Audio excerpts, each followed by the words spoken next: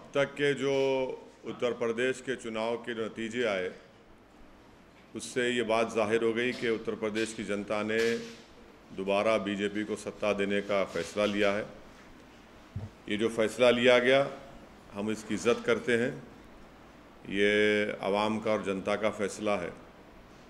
और साथ ही साथ मैं अपनी पार्टी के अध्यक्ष जनाब शौकत अली साहब का और पार्टी के उत्तर प्रदेश के तमाम ज़िम्मेदारों का और जो हमारे पार्टी के मेंबर्स, जो महाराष्ट्र से और कर्नाटका से, हैदराबाद से जाकर वहाँ पर कई महीनों से मेहनत किए, मैं उन सब का शुक्रिया अदा करता हूँ। मैं उत्तर प्रदेश की जनता का भी शुक्रिया अदा करता हूँ कि जिन्होंने हम पर अतमाद किया और हमारे प्रत्याशियों के हक़ में अपने वोट का इस्तेमाल किया।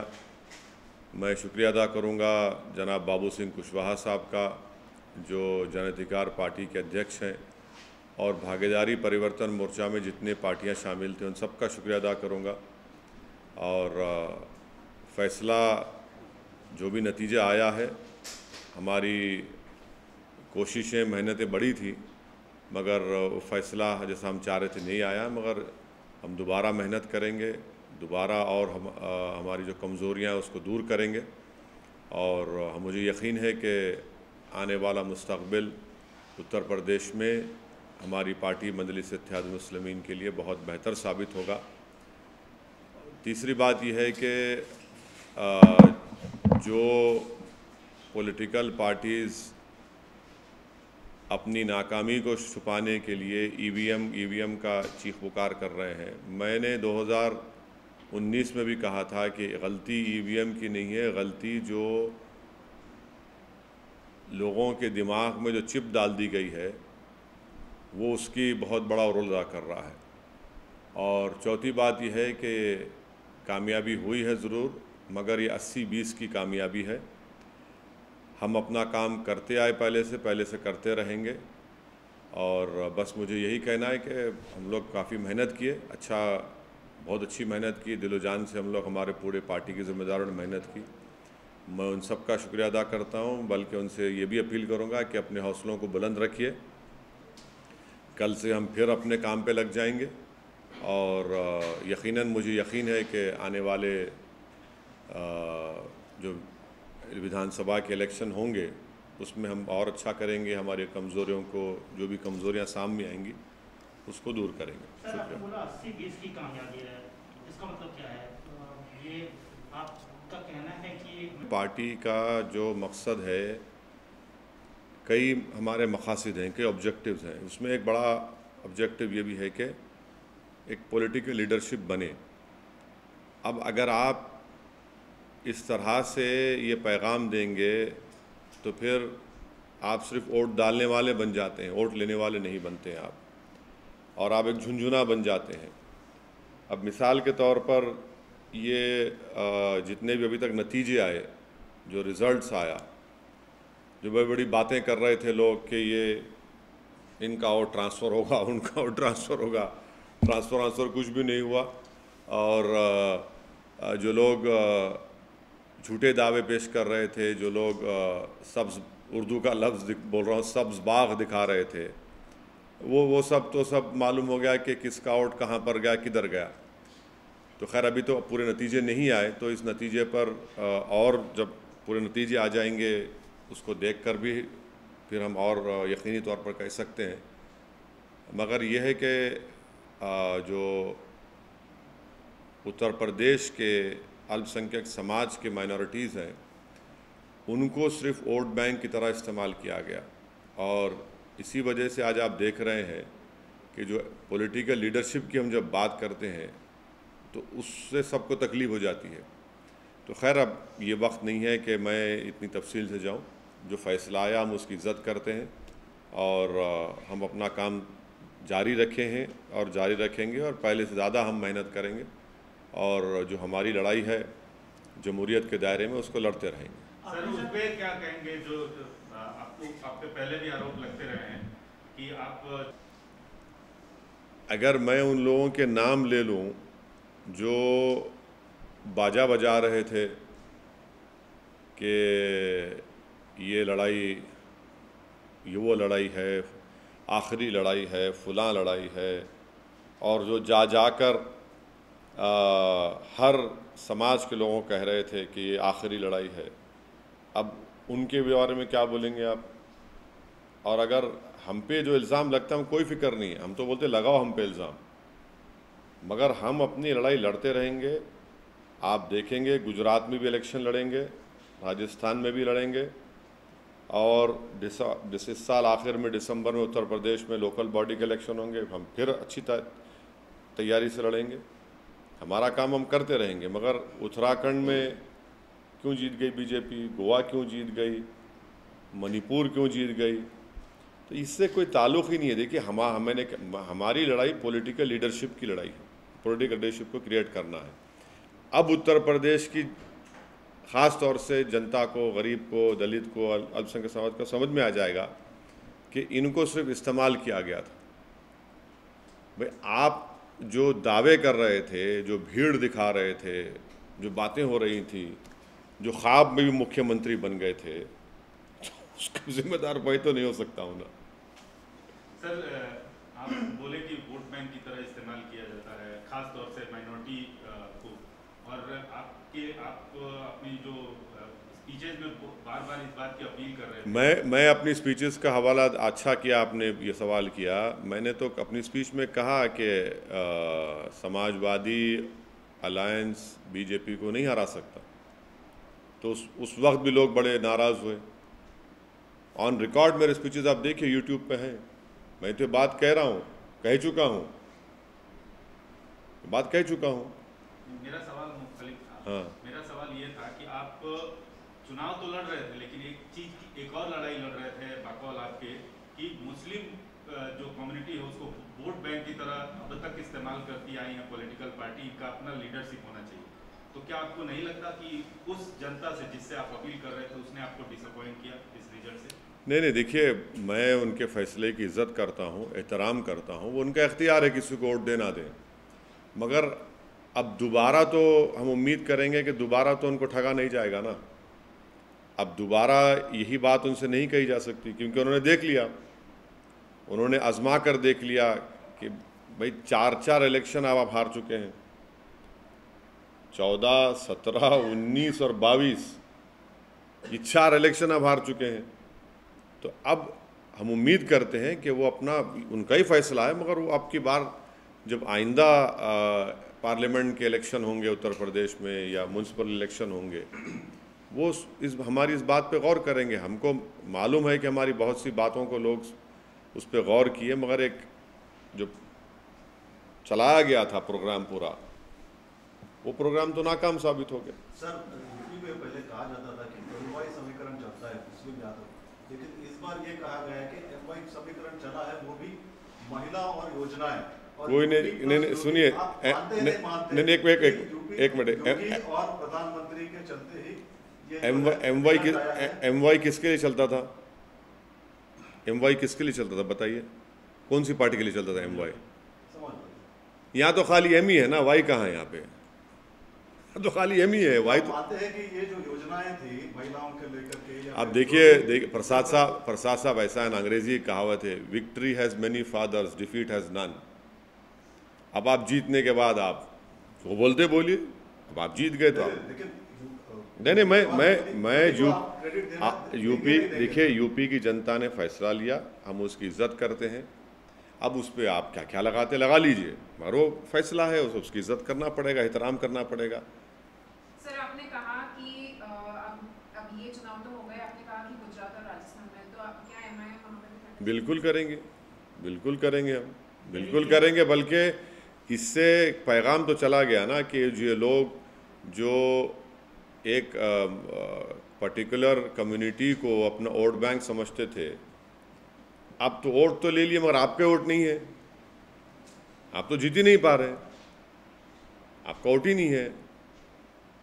वो जो आ, आ, क्या लफ्ज़ इस्तेमाल किया था कि रेनबो हाँ? नहीं नहीं, जो हिंदी का लफ्ज़ इस्तेमाल हुआ था उसमें उसमें वो तो सब हाथ को आ गया ना, वो तो बिल्कुल ही नाकाम साबित हुए।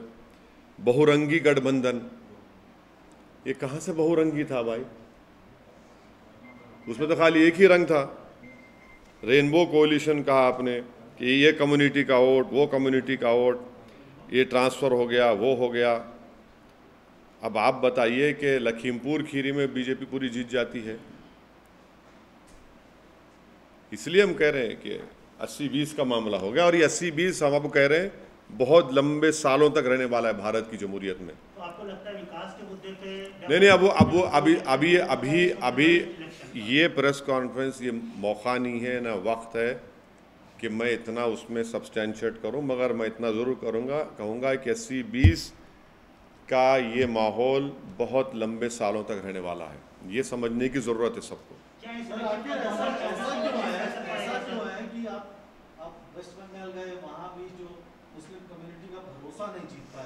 अभी उत्तर प्रदेश में उन सीटों पर चुनाव लड़े जहाँ जो मुस्लिम माहौल और डिसाइडिंग पोजीशन पर रहती नहीं नहीं ऐसा नहीं। हम तो हर हम तो अलायंस का हिस्सा सुनिए ऐसा नहीं। हम तो अलायंस का हिस्सा थे भागीदारी परिवर्तन मोर्चा का। जितने जन अधिकार पार्टी के भी कैंडिडेट्स थे और दूसरे अलायंस के हम सबके लिए कैंपेन किए। इलेक्शन में जीतार होती है। इलेक्शन जीतार होती है और काशीराम मान्यवर काशीराम ने सही कहा था कि पहला इलेक्शन हारना दूसरा हराना तीसरा जीतना। अरे सुनिए सुनिए सुनिए सुनिए एक ये काशीराम साहब का एक बहुत बड़ा इंपॉर्टेंट स्टेटमेंट है। हम हारे हैं जीतेंगे दोबारा। इसमें कौन सी बड़ी बात है? कौन सा आसमान गिरने वाला है? हमारे हौसले हमारा अज़म कभी कम नहीं होगा ना इससे होता है। ठीक है हम जो चाह रहे थे उसके बरक्स नतीजा आया कोई बात नहीं है। मगर हमारे हौसले हमारे स्पिरिट आज भी हाई हैं कल भी हाई रहेंगे हम लगे रहेंगे। आपने इसी इसी नहीं। मतलब आखिर क्या कारण वो आप पाते हैं कि जो जो मुस्लिम कम्युनिटी है उसका भरोसा नहीं जीत पा रहे हैं? नहीं नहीं देखिए अब अब एक मैसेजिंग जो की गई थी, ये सब लोगों की वजह से, अब उसका नतीजा देख रहे हैं ना आप? अब उसका नतीजा देख रहे हैं लोग। तो ये एक टर्निंग पॉइंट होगा मुस्लिम पॉलिटिक्स के लिए। ये यहाँ पर मालूम हो जाएगा कि भाई, जो दावे कर रहे थे, उन्हीं के पास कुछ है ही नहीं। वो खुद बिल्कुल खाली पड़े हुए हैं, सिर्फ़ दावे कर रहे थे। अगर उनके दावे सही साबित होते तो कुछ तो उनके पास बचता उनके पास कुछ नहीं बचा। तो हिजाब का मामला किसको फ़ायदा किया और किसको नुकसान किया? देखिए हिजाब का मामला मैंने कहा था अपने भाषण में ये संविधान के फंडामेंटल राइट का इशू है। इलेक्शन हो चुनाव हो ना हो जहाँ पर फंडामेंटल राइट्स का वायलेशन आएगा वहाँ पर बोलना पड़ेगा। अगर अगर अगर चुनाव नहीं होते तो आप समझते हो इसी खाऊं बढ़ जाता आप गलत सोच रहे हैं आप। ये मेरा फंडामेंटल राइट है। संविधान को प्रोटेक्ट करना मेरी आपकी ज़िम्मेदारी है मैं बोलूँगा बराबर। मगर ये बोलना कि इसमें आया भाई वो अगर नहीं आता तो भी हम बोलते बराबर। अस्सी बीस के नैरेटिव में क्या ये काम आया सर? नहीं अस्सी बीस का नरेटिव अब आपको बताएँगे आराम से अभी। अभी आज की प्रेस कॉन्फ्रेंस हो सर, जाए आप बोल रहे हैं कि जो मैसेज दिया गया था ये तो आपका इशारा कहीं न कहीं जमात के जो नुमाइंदे हैं चाहे वो मेरा इशारा किसी नहीं नहीं मेरा मेरा इशारा किसी के ऊपर नहीं है। जनता समझ जाएगी। मैं मैं आप जिसको समझ रहे हो नहीं सम, वो गलत है वो नहीं। This is going to stay for a very very long time this is this is this is the crass reality which which will which every one will have to accept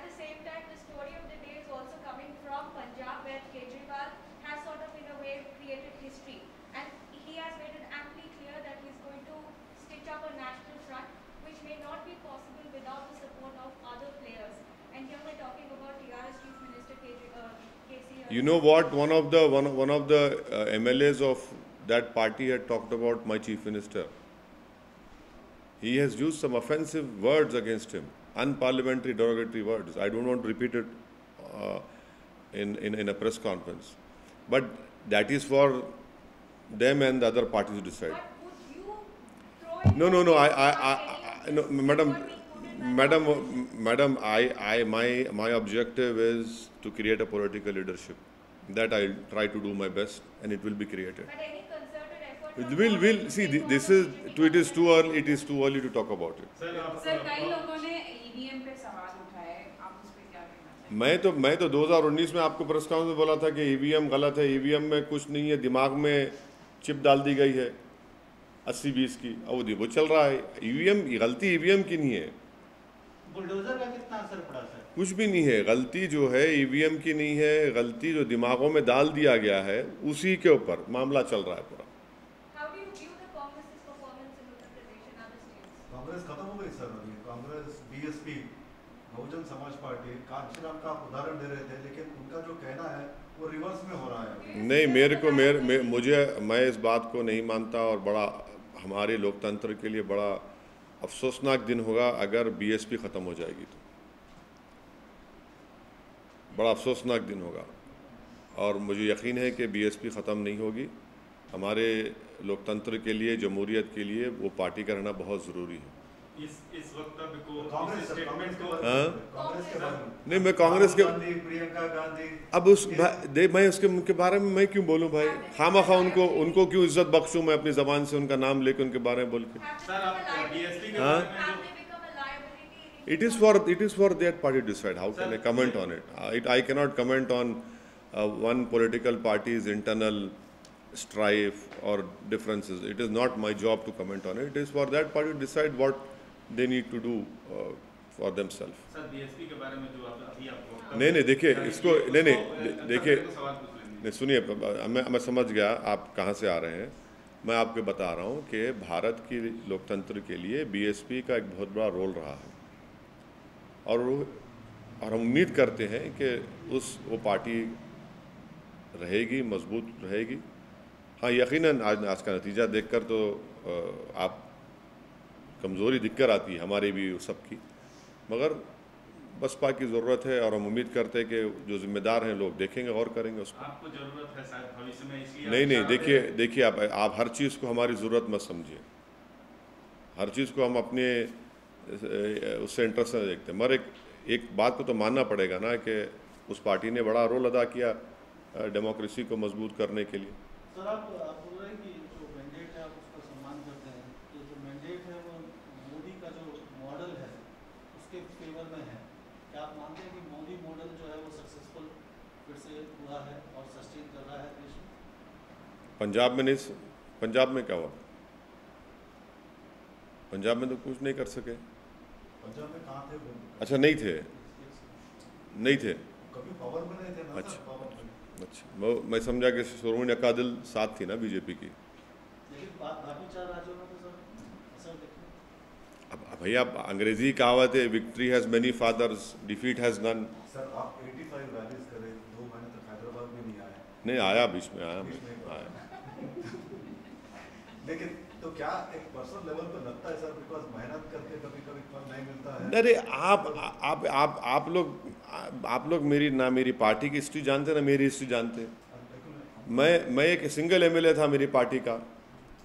फिर हम लोग बड़े एक ही एमएलए था मैं हम लोग MP का इलेक्शन दो एमपी इलेक्शन थे 96 98 का। तो क्या कमियाँ रह गई क्या अरे रही होगी भाई कुछ ना कुछ होगा हम उस पर देखेंगे। मगर मेहनत के एतबार से हमारा उत्तर प्रदेश का यूनिट शौकत अली और जितने हमारे जिम्मेदार हैं बहुत मेहनत की तो यकीनन कहीं ना कहीं कमज़ोरी होंगी देखेंगे उसको। मगर इससे हम हमको कोई मायूसी नहीं है।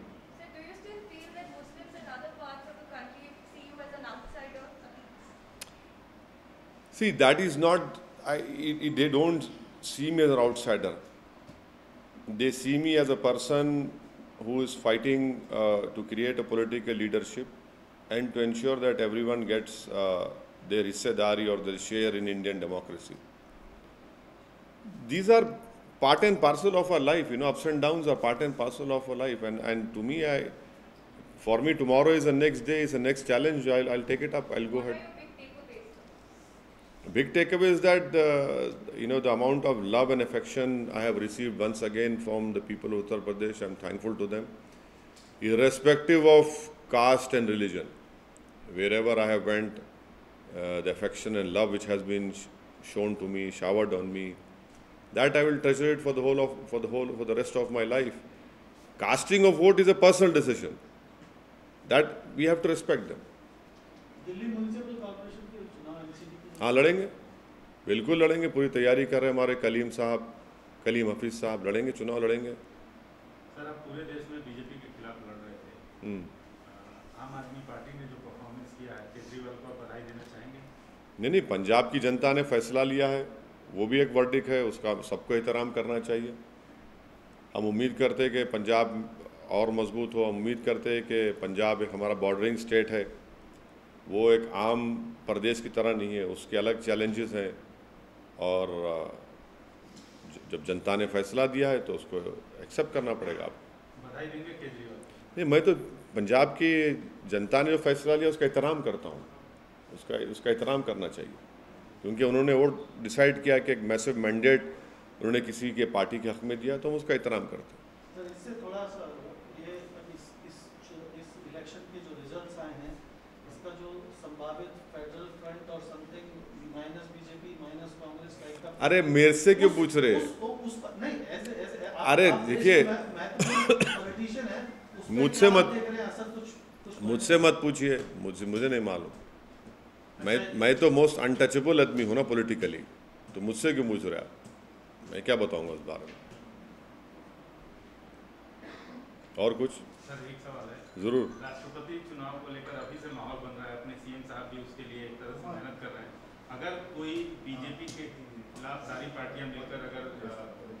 मेरी देखिए तो। मुझे आपसे मालूम हो रहा है कि हमारे मुख्यमंत्री इस तरह का प्रयास कर रहे हैं। मुझे नहीं मालूम। मैं जिस दिन हमारे मुख्यमंत्री से मिल लूँगा मुझे टाइम देंगे मिलने का तो मैं उनसे पूछ लूँगा। मगर जब वो टाइम जब देंगे मेरी जब मुलाकात होगी मोहतरम वज़ीर आला तेलंगाना से तो मैं उन मोहतरम से पूछ लूँगा। अभी तो मेरी बहुत अरसे दराज से मेरी उनसे मुलाकात ही नहीं हो पाई। वो बहुत मसरूफ़ हैं। तो जब उनकी गुनागो मसरूफियत में वो थोड़ा वक्त दे देंगे तो यकीनन आपका सवाल उनसे पूछ लूँगा और जवाब जब आएगा तो आपको बता देंगे। मुस्तकबिल में संभव कि अखिलेश से आप हाथ मिलाएँ। ठीक देखिए मुस्तबिल में क्या होगा मुझे नहीं मालूम। मगर हम ये कह रहे हैं कि अब इस, आज के इस फैसले के बाद तो हमारी जितनी बातें हम कह रहे थे, वो सब सच साबित हो गई। वो सच सच साबित हो गई। अब ये देखना है कि वो अपनी विधानसभा की सीट पर रहते हैं या फिर वो आजमगढ़ की अपनी पार्लियामेंट सीट छोड़ते हैं। हम तो पार्लियामेंट का इलेक्शन भी लड़ेंगे उत्तर प्रदेश में। आपने एक बात कही कि सिर्फ़ एम रह गया वाई नहीं वाई कहाँ चला गया? तो नहीं प्रसाद साहब ने एम वाई की बात की थी। तो हम हम हम तो बोले हम ये कह रहे हैं खाली एम ही रह गया है। वाई नहीं मिला। वाई तो मैदान जंग से गायब हो गया। मोहब्बत में हम ही खड़े हो गए और जो हमको मैदान में लाए जंग के मैदान में छोड़ के भाग गए हमको।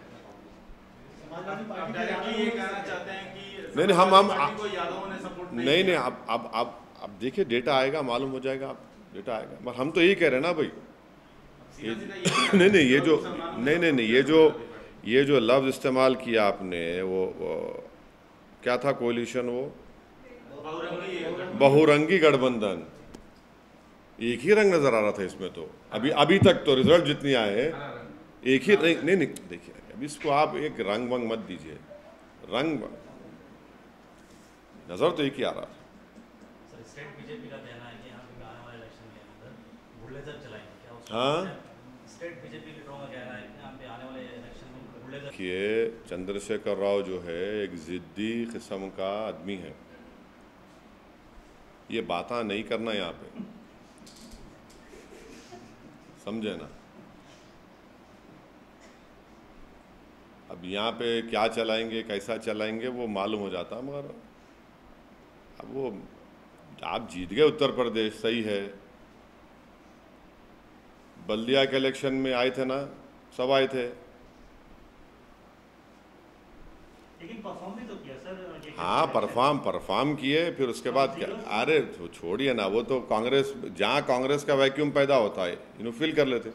इसका मतलब जा- भाई जहाँ हमारे हमारे जितने नंबर से हम रिपीट किए अंडर एस्टिमेट मत करो आप चंद्रशेखर राव को। और अच्छी बात यह है कि चंद्रशेखर राव अब जो एक्टिव हो गए ना, वो बड़ा चेंज है उनमें। और उम्मीद करते हैं कि वज़ीर आला ऐसी एक्टिव रहेंगे। ऐसी एक्टिव रहेंगे अब आइंदा असम्बली के चुनाव तक। नहीं नहीं, वो कब कराते वो नहीं मालूम मेरे को। वो मेरे को नहीं मालूम, आपको मालूम है तो बताइए, हम भी तैयारी शुरू कर रहे थे जल्दी। मेरे को तो नहीं मालूम बट हम तो उम्मीद करेंगे कि हमारे वज़ीर अला जो एक्टिव आज है उन्हें एक्टिव रहना बस। एक्टिव रहना और थोड़ा उन्हें पब्लिक से मिलना भी थोड़ा। जितने उनके एमएलए से तो टाइम निकाल लिए थोड़ा मिल लिए तो अच्छा रहता। क्योंकि टीआरएस में एक ही फेस है वो। टीआरएस में एक ही चेहरा है बस वो। दूसरे कोई चेहरे नहीं है। केटीआर बहुत बड़ी बात बोले टीआरएस में एक ही चेहरा है? बिल्कुल टीआरएस में एक ही चेहरा है कोई दूसरा चेहरा है ही नहीं। कोई भी नहीं है। कोई नहीं है। सिवाय वज़ीर आला के चंद्रशेखर और कोई चेहरा नहीं है।